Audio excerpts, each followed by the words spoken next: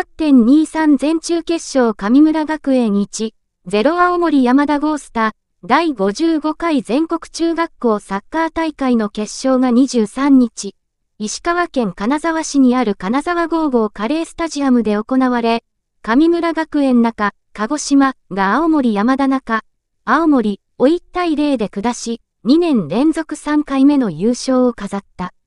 大会優秀選手が発表になり、優勝した上村学園と準優勝の青森山田から、それぞれ最多の6名ずつが選ばれた。